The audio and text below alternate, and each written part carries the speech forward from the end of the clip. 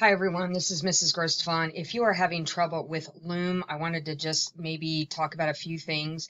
And that is when you originally went to Google and you typed in Loom, it gave you a couple of choices when you originally signed up. And I'm not logged in right now, so I was just wanting to kind of bring up maybe from the get go.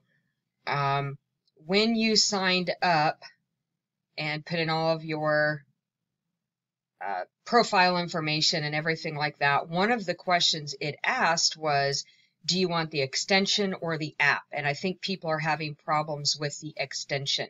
So if you said you wanted the extension, it's up here in the top right in your Chrome browser area. And to me, it's just a weaker version of Loom.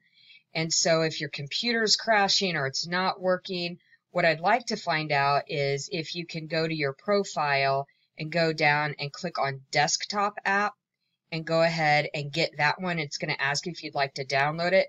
I've already downloaded it, so I can see that I've downloaded it because if I go down to the bottom and type here to search and I start typing Loom, you can see I have the Loom app.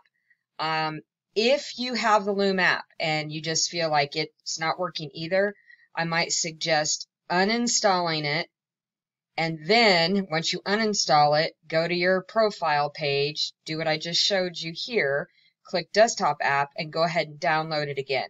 Now it may be weird at first, um, and act like um, you can't search for it down here, and it may just show you a file folder and not that actual icon.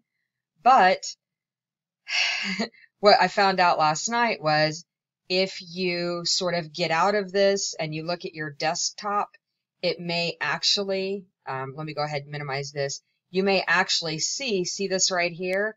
Um, you may have to click it from here and sign in again with all of your username, password things, and hopefully you'll have the newest, greatest version of Loom.